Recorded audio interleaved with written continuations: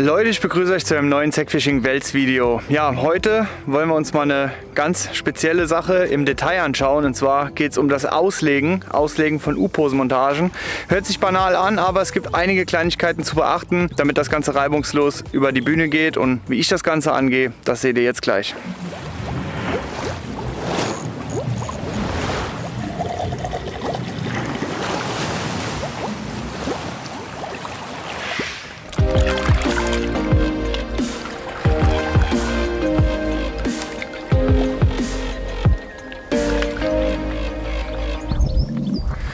Ja, und zwar bin ich jetzt hier schon eine Nacht am Angeln. Ihr seht hier, mein ganzes Zeug hängt hier in den Steinen drin. Habe eine Nacht schon hinter mir. Wie es mir dabei ergangen ist, was ich dabei gefangen habe und so weiter und so fort, seht ihr in einem anderen Video. Ich weiß allerdings nicht, ob es jetzt schon gekommen ist oder später kommen wird, aber wir werden es auf jeden Fall an der Stelle hier mal verlinken, sodass ihr da auf jeden Fall am Ball bleiben könnt. Ich habe mir aber losgelöst von dieser Session jetzt einfach mal überlegt, dass ich euch in Zukunft auch die verschiedenen Arten des Auslegens einfach mal zeigen möchte. Das heißt, wie lege ich verschiedene Montagen so aus, dass es möglichst stressfrei und effektiv über die Bühne geht. Denn wir zeigen euch hier so viele verschiedene Montagen und Rigs und alles, was dazugehört.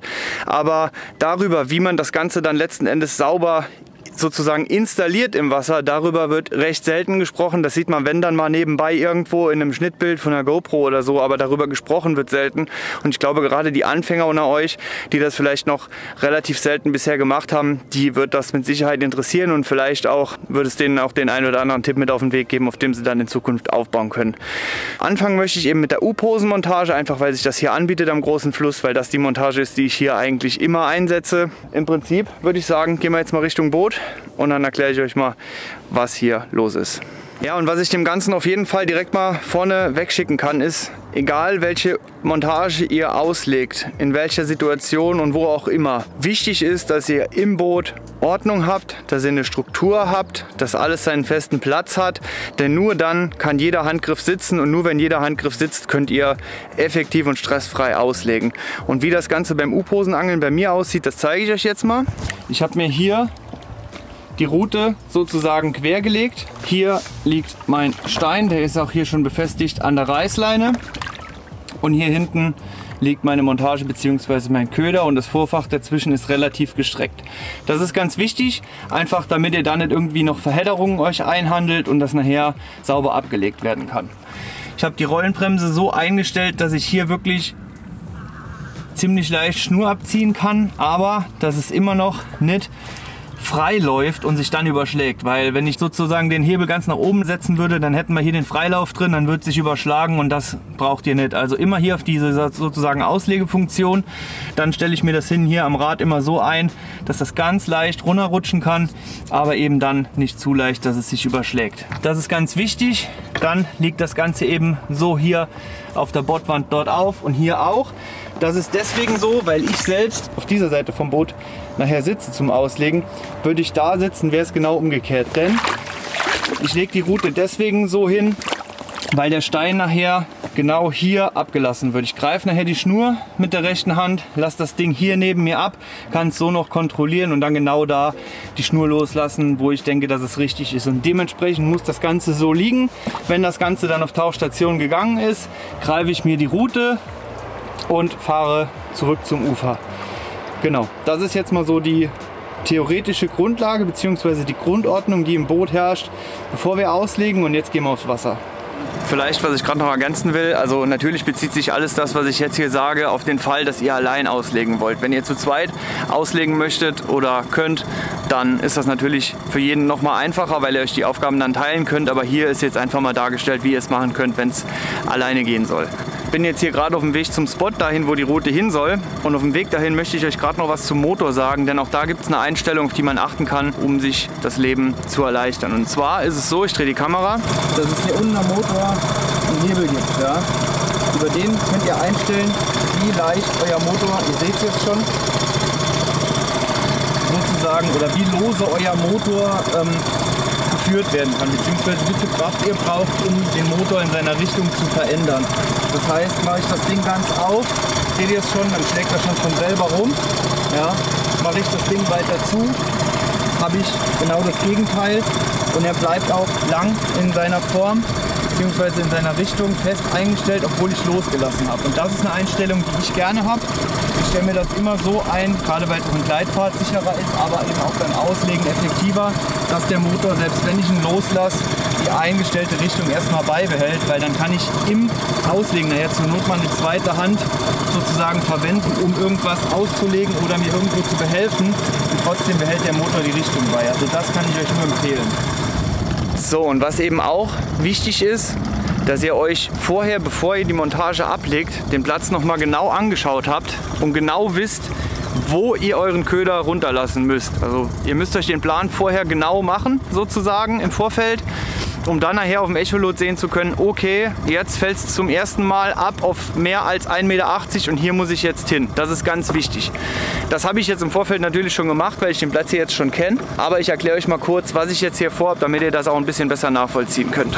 So, und zwar haben wir jetzt hier quasi eine Buhne bzw. einen Buhnenkopf. Und dieser Buhnenkopf, da müsst ihr euch vorstellen, der setzt sich unter Wasser noch fort. Und hier ist es so 1,30 tief. Und dann kommt irgendwann der Moment, wo quasi dieses 1,30 tiefe Wasser in die Richtung wieder abkippt und es wird dann 2,50 Meter tief. Und genau da soll die Montage hin. Das heißt, ich weiß, wenn ich hier drüber fahre und ich habe um Echolot 1,30, dann kann ich so langsam meinen Köder schon mal bereit machen. Und wenn ich dann merke, es fällt langsam ab von diesen 1,30 auf 1,40, 1,50, dann lasse ich den Stein schon mal runter. Und wenn dann irgendwann die 2,50 erreicht sind, dann weiß ich, ich kann einen Stein setzen. Das mal für euch zur Orientierung für das, was wir jetzt gleich machen. So, wichtig ist auch, wenn ihr im Fluss die U-Pose setzen wollt, dass ihr den Platz immer von unten anfahrt. Das heißt, ihr überfahrt quasi die Stelle, ihr fahrt weiter flussab sozusagen, als ihr eigentlich müsstet.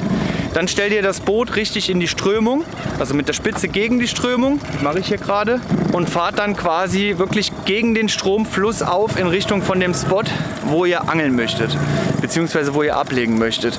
Weil auf die Art und Weise könnt ihr euch dann echt Zeit lassen. Ihr müsst euch vorstellen, wenn ihr quasi von oben nach unten mit der Fließrichtung abtreibt und wollt da einen Stein legen und dann wieder zurückfahren, das gibt nur Chaos. Wenn ich aber gegen die Strömung fahre, dann kann ich halt über, die, über den, den Gashebel bestimmen, wie schnell ich mich voranarbeite gegen die Strömung und habe so dann quasi alle Zeit der Welt, um meine Montage punktgenau abzusetzen. Und das werde ich jetzt machen. Also das Boot steht jetzt perfekt in der Strömung. Ich weiß jetzt, ich bin in dem Bereich, wo es interessant ist. Ja, jetzt werde ich auf die GoPro umschalten, weil ich einfach Hände brauche, um zu arbeiten, um das hier zu machen. Aber ich denke mal, der Ton von der GoPro reicht auch aus, hoffe ich zumindest, damit er mich versteht. Und dann könnt ihr halt ganz genau mir auf die Finger schauen, was ihr mit Sicherheit auch schon in dem ein oder anderen Video mal als Schnittbild gesehen habt. Aber hier mache ich jetzt einfach noch die Erklärung dazu und dann ist das vielleicht nochmal was, was euch ein bisschen Mehrwert bringt. So, also, ich hoffe, ihr hört mich. Ihr seht, hier ist alles organisiert, wie eben gesagt. Die Route liegt da, die Bremse ist offen, der Stein ist hier, hier ist nichts verknotet oder irgendwas. Das ist alles ordentlich. Das Vorfach liegt hier und ist gestreckt. Auch nichts vertrallt oder sonst irgendwas. Klar, wenn das jetzt irgendwie ein Köderfisch wäre oder so, dann wäre der halt im Eimer. Aber in dem Fall ist es jetzt egal bei den Würmern. Genau, und jetzt stehe ich mit der Spitze gegen die Strömung. Vielleicht seht ihr da die Bohne beziehungsweise den Bohnenkopf und ich fahre jetzt halt langsam flussauf, halt dabei das Echolot im Blick, weiß ja ungefähr wann es hochgehen wird. Ähm, ja, es fängt jetzt schon an, ich weiß nicht, ob ihr das erkennt auf der Kamera. Ähm, jetzt geht es hier langsam hoch. Ich halte mich noch ein Stück weiter nach innen, weil ich nicht so weit nach außen raus möchte. So, und jetzt fahre ich hier hoch und hier wird es jetzt flach. Hier geht es auf die 1,30. Das sehe ich, wie erwartet sozusagen. Ich sehe auch hier die Steine unter Wasser.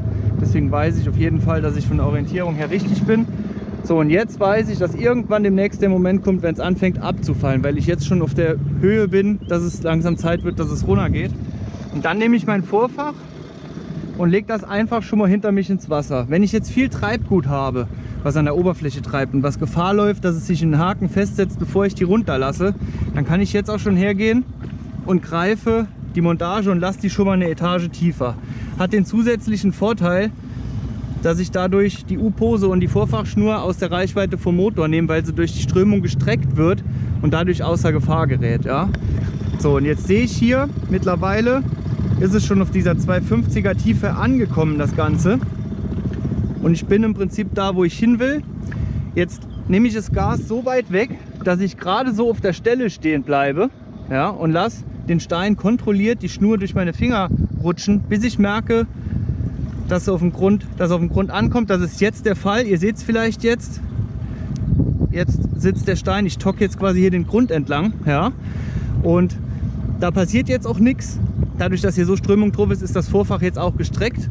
Trotz der Tatsache, dass ich mit dem Boot im Prinzip stehe, in einem langsam fließenden Fluss, würde ich das so nicht machen. Im langsam fließenden Fluss würde ich versuchen, immer in Fahrt zu bleiben, um das Vorfach gestreckt zu halten, möglichst. Jetzt merke ich, ich bin hier an der richtigen Stelle, beziehungsweise habe eben jetzt noch die Möglichkeit hier, bin jetzt sogar ein bisschen rausgekommen, ein bisschen zu tief, fahre jetzt wieder zurück, gucke mir das Echolot an, merke ja dann, wenn es wieder ansteigt, das merke ich dann in der Regel auch zuerst in der Hand, weil ja dann der Stein unten anschlägt, wenn es wieder flacher wird, weil jetzt die Schnur ja quasi zu lang ist. Hier merke ich jetzt, es steigt an. Genau, hier wird es flacher, hier geht es hoch. Man sieht es auch auf dem Echolot und dann lasse ich das Ding einfach ab, beziehungsweise los. Dann greife ich mir die Route und gehe direkt mit der Routenspitze in Richtung vom Stein und halte das auch so. Und dann gebe ich Gas mit dem Boden ein bisschen. Und wichtig ist, dass die Route jetzt in der Richtung zum Stein zeigt. Deswegen, weil hier ist jetzt noch eine Schlagschnur drauf und irgendwann kommt der Schlagschnurknoten und der ist eben so dick, dass wenn ich die Route in irgendeinem anderen Winkel halte, dass der ein Problem hat, um durch den, sauber durch den Spitzenring zu gleiten. Aber wenn ich die Route eben so hier führe, dann kann der geradlinig in einer Linie durchlaufen. Hier kommt er jetzt, läuft durch, bleibt nicht hängen und ich kann sauber im Prinzip auslegen. Also es läuft alles reibungslos ab. So, jetzt kann ich, wenn ich will, das Ganze noch ein bisschen nachjustieren. Ich persönlich mache das dann immer hier direkt über die Bremseneinstellung, weil ich das eigentlich viel sensibler noch finde als über den Hebel selbst. Und dann fahre ich zurück. Und ihr seht jetzt, ich habe jetzt die Route hier unten gegen meinen Fuß gekeilt und habe sie so dann mit einer Hand hier quasi senkrecht aufgestellt im Boot habe eine Hand frei am Motor, mit der ich steuern und Gas geben kann, wie ich es brauche. Und trotzdem steht die Schnur, die Route senkrecht hoch und hilft mir dabei, möglichst viel Schnur aus dem Wasser zu halten. Dadurch habe ich eben wenig Angriffsfläche, es bildet sich we möglichst wenig Schnurbogen, es fängt sich wenig Dreck und ja, das hat eigentlich nur Vorteile.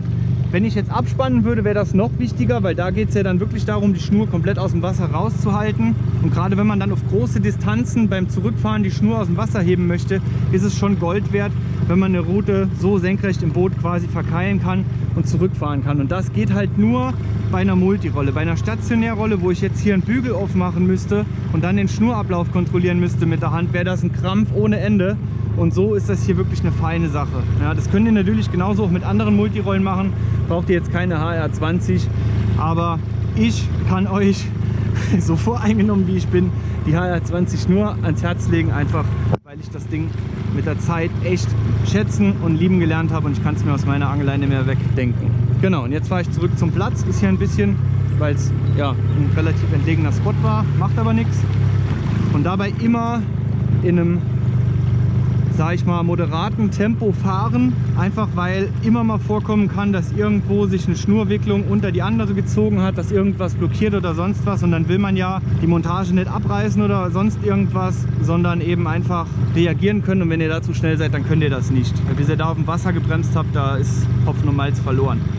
Wichtig ist hier halt die Bremseinstellung so zu wählen, dass ihr gerade so quasi Schnur frei gibt, aber immer noch genug Druck habt, dass kein Schnurbogen entsteht. Das ist ganz wichtig. Ich mache hier immer auch noch ein bisschen mit den Fingerspitzen. Das brauche ich so für mein Kopf- und Bauchgefühl. Bräuchte ich eigentlich nicht. Ich könnte das auch so machen. Das würde genauso gehen.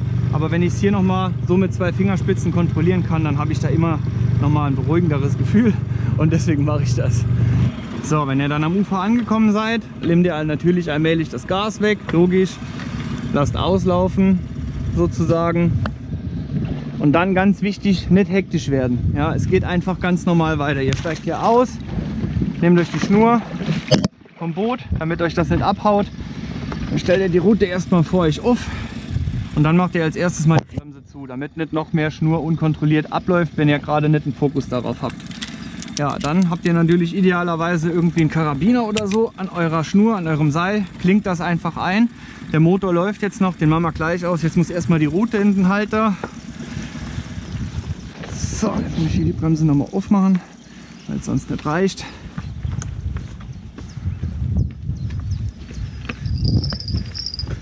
Glöckchen an die Spitze.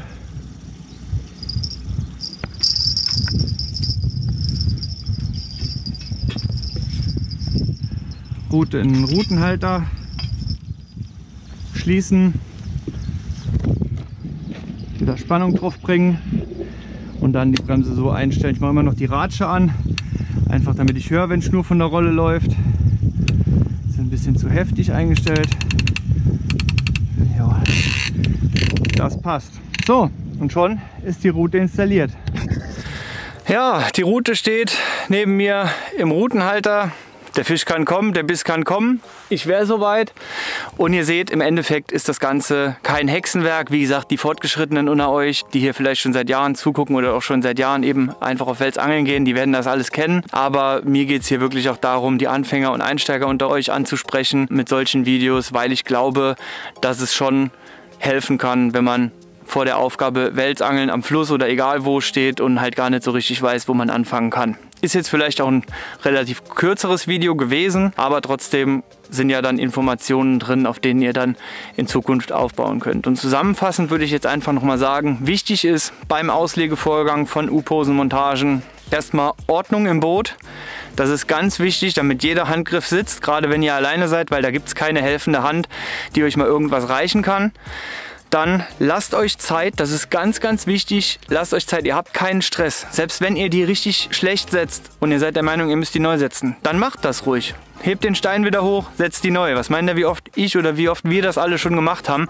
Weil es ist besser, dann nochmal das Ding neu zu setzen, was dann fünf Minuten dauert, als die ganze Nacht hinter einer Route zu liegen, von der man denkt, naja, ähm, irgendwie hätte ich die, glaube ich, schon noch besser legen können. Also macht das ruhig. Das passiert jedem. Es kann mal eine Route verrutschen, das macht gar nichts. Wichtig ist nur, dass man sie dann neu setzt. Das ist das Ding. Auch Zeit lassen, wenn ihr jetzt zwischendurch noch irgendwo umlenken würdet oder absenken würdet. Das habe ich jetzt bewusst nicht gezeigt, weil ich da in extra Videos nochmal speziell drauf eingehen will, weil weil ich glaube, dass das Themenbereiche sind, die einzeln behandelt so viel hergeben, dass das als einzelnes Video lohnt. Aber wichtig auch dabei, egal wie viel Umlenker und Absenker und was auch immer ihr da drin habt, lasst euch Zeit, behaltet eure Ordnung bei, denkt das Ding im Vorfeld durch und führt es dann einfach in Ruhe zu Ende. Und wenn ihr zu zweit seid, ist es natürlich noch einfacher, weil dann kann an der Stelle, wo jetzt quasi mein Griff von meiner Route lag, da würde dann der zweite Mann sitzen, hätte dann die Route in der Hand. Das heißt, er würde komplett übernehmen die Bremseinstellung, den Schnurablauf und so weiter. Und derjenige, der dann am Motor sitzt und das Echolot sieht, der ist der, der dann den Stein von Hand runterlässt und dort absetzt, wo er eben hin soll. So, das ist das Ding. Und ich hoffe, ihr konntet jetzt einiges mitnehmen oder zumindest ein paar Informationen. Ich hoffe, das Video hat euch trotz der Tatsache, dass es mal ein bisschen anderes Video war, gut gefallen. Hoffe auch, dass wir uns in einem der nächsten Videos sehen. Und in der Zwischenzeit wünsche ich euch viel Spaß beim Ausprobieren, falls ihr das noch nie gemacht habt. Und äh, ja, fangt ein paar Fische, bleibt gesund und dann bis demnächst. Ciao.